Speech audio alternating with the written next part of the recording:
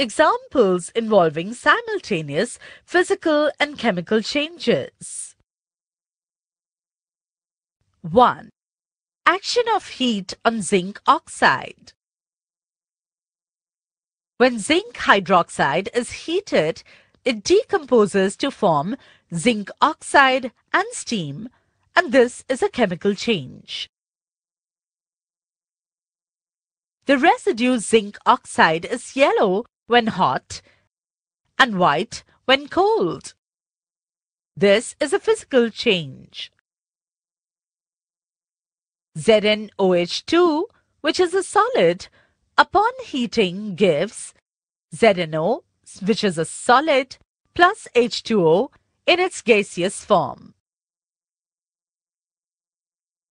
Solid ZnO which is white when cold, upon heating gives ZnO solid, which upon heating turns yellow.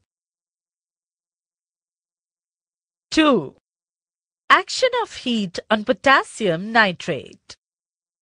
On heating white crystals of potassium nitrate, they melt and this is a physical change. And then they decompose to form a new substance, potassium nitrite and oxygen, and this is a chemical change. KNO3 solid upon heating gives KNO3 liquid and this is a physical change. 2KNO3 liquid upon heating gives 2KNO2 liquid plus oxygen gas.